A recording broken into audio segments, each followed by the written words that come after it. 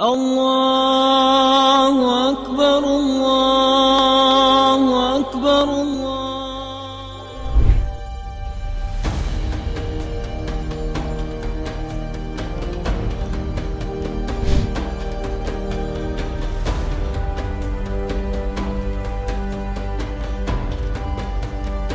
تقريبا 80% من زوار المسجد الحرام هم ليسوا عرب.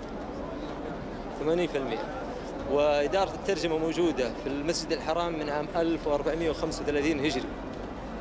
وهي تعنى بتقديم الخدمة ويفوق تقديم الخدمة سنويا بالملايين.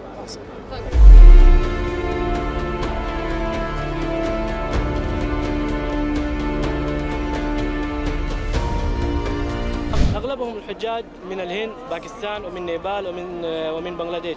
هؤلاء يتكلمون كل أغلبهم باللغة أردية. وأكثر الحجاج خدماتنا باللغة أردو.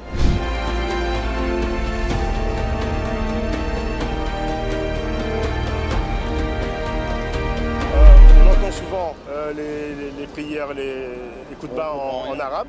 On, on ne- on ne maîtrise pas forcément l'arabe parce que c'est quand même, euh, euh, il, faut, faut- faut- il faut- il faut connaître quand même. Mais là, c'est vrai que d'avoir la traduction en français, ça a permis de nous éclairer non seulement sur la, la pratique du rythme, mais aussi sur les explications également.